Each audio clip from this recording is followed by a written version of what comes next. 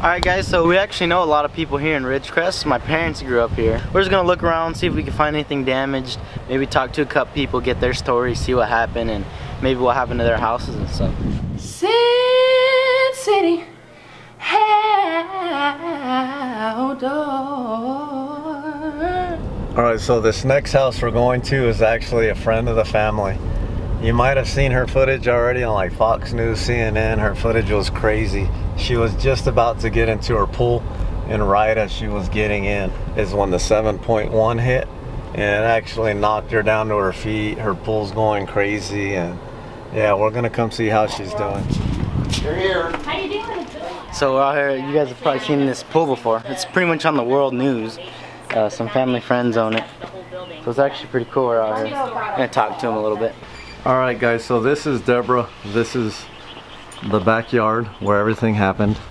This is the viral footage that's going all over the internet.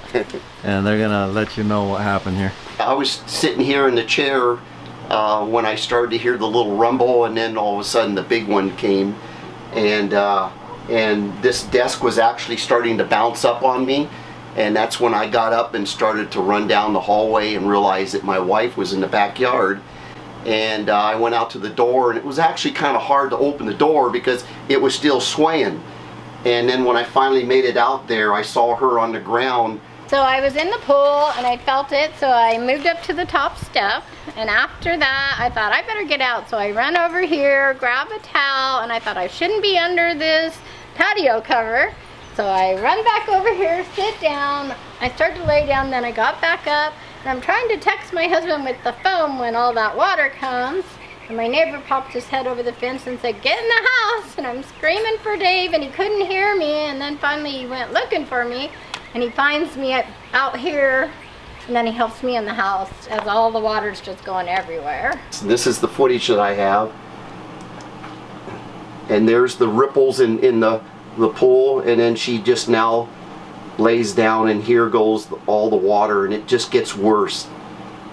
And you can see how low the water gets on the side here. It's about probably four feet.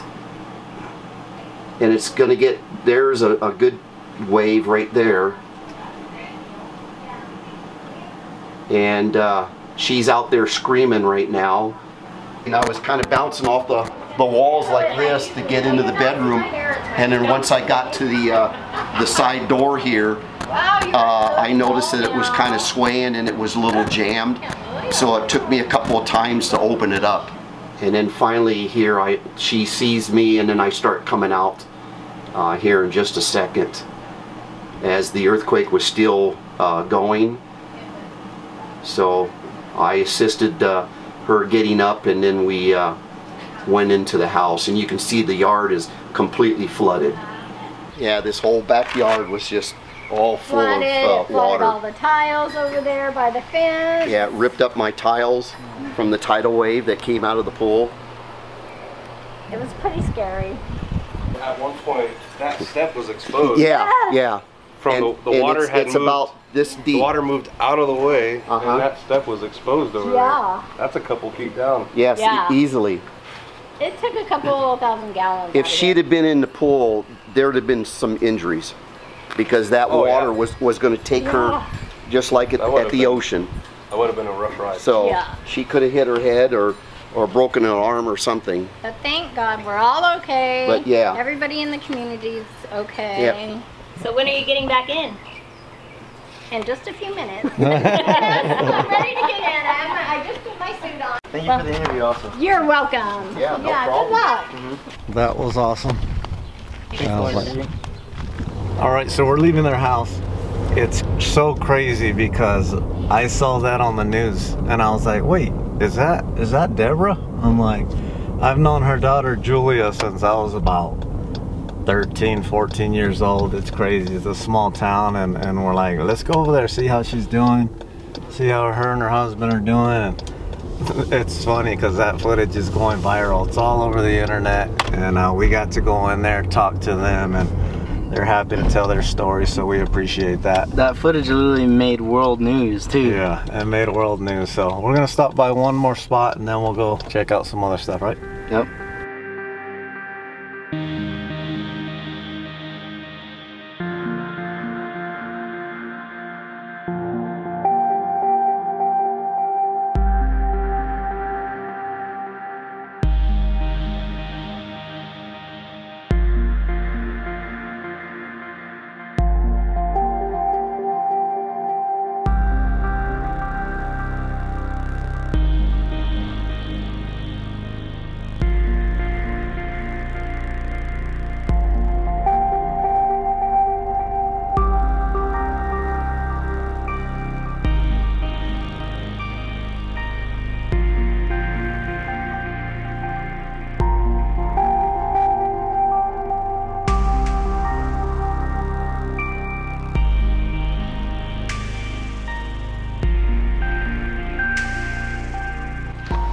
So as you guys can see, this whole wall pretty much fell down.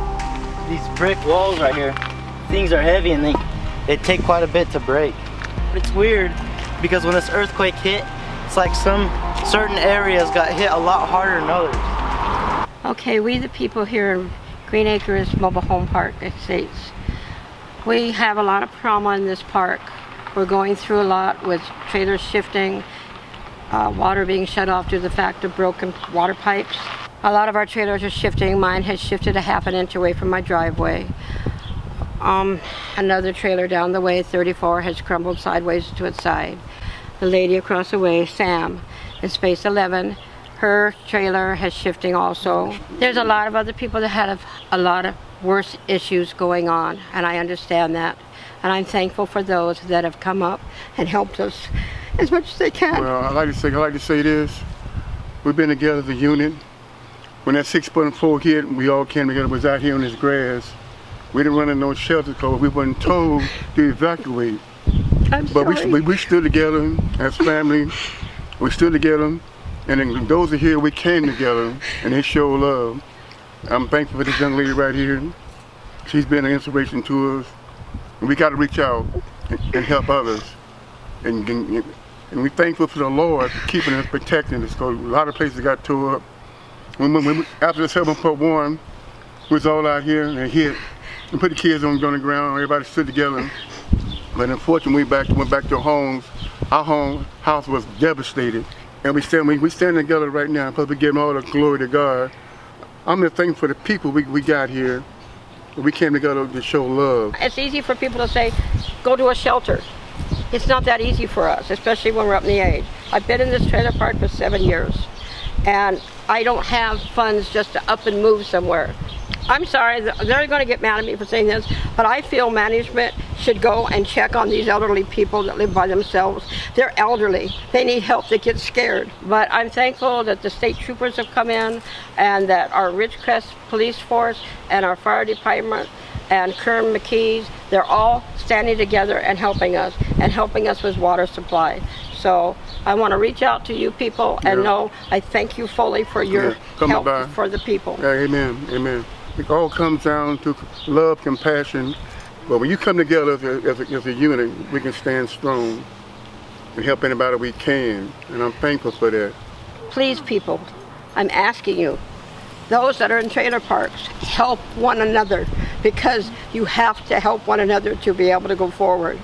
Some are losing more than others, some are losing completely everything. But stand together, that's where it's at. Yeah. And have faith in your Lord. Yeah. He knows all things and He will protect us. I want to say Thank this you. for closing.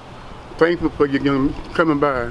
So like I said this morning, I was praying, I said, Lord, send somebody by here we can express the unification of the people and the love that they're showing and standing together, not running, but can become combined.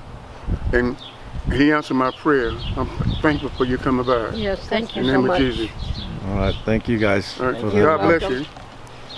You God bless you. You stay safe, all of you. Stay safe while you're up here because that big one's supposed to still be coming, they say. I know the last few nights, me and my family has been sleeping in our cars. Our trailer has shifted. All I know is they say there's gonna be more, but if there's more, these trailers probably won't stand much longer. Um, people are fleeing town. Yeah, we're actually from Vegas and we saw tons of people headed that way. So do you guys plan on staying here? Yes, we have all our family out here. I'm not gonna leave unless all my family comes with me. I hope everything gets better for you guys. Me too. I All have right. four little girls and they're traumatized. You got four little girls. Wow. This is my oldest and that's my youngest. Okay. Thank you. So we just went through a, a community right there. People are pretty shaken up. Wouldn't you say so? Yeah, those mobile home communities, they're they're the worst hit. They're not very sturdy. So the damage in those things is gonna be, you know, a hundred times worse than an actual house with a, a foundation, a cement foundation or whatever. We feel the frustration, but I don't know how much can actually be done, like right away with the management or you know the landlords or whatever you know because it, it's a lot it's a lot those parks have you know say 40 50 maybe even 100 mobile homes in them and i don't know what can be done immediately but they are getting some help trickle in it's just when it's a natural disaster, there's a whole lot going on at once. So we hope that they get help. We hope that you know their houses get fixed and everything works out. But you, you go into these communities, you feel bad because you know there's a lot that every individual house needs, and there's not a whole lot that can be done like right away. So, like you were saying, it is it's, uh, it's a lot. It's kind of hard to, to manage it all at once, and especially if they're expecting more earthquakes, and it makes it even more like a tricky situation, doesn't it? Yeah, because in that place they said the management actually left, which I mean, you're you're managing a building, but if you feel like your life's in danger and you have the means to leave, you know, some people leave, and it's it's uh, I don't know, it's a tricky situation. Pe people get stuck and they need help. Other people are trying to leave. We hope that things work out for them, and we wish them the best. So it's nighttime now. The earthquakes are happening like tons and tons. We're getting a little tiny earthquake right now. A lot of you guys said we should put water or something. It's starting to slow down a bit, but I was literally just saying right now that I could feel the ground moving slightly. And so that water's moving right now, but it's weird. It's like nothing else in this whole room is moving. So like I was explaining in the last video, it's like a real subtle kind of like a, you gotta really be here to feel it. It feels like you're almost on like a slow rolling water. It's weird. Almost like a boat is the easiest way to describe it but they're so small you can't even feel them. And once again, last night about I think it was like 10, 14 ish, we had that one that ran through the room, and then just right now, about right around at the same time, about 10 o'clock, we had the exact same thing happen. You can hear it coming, coming, coming.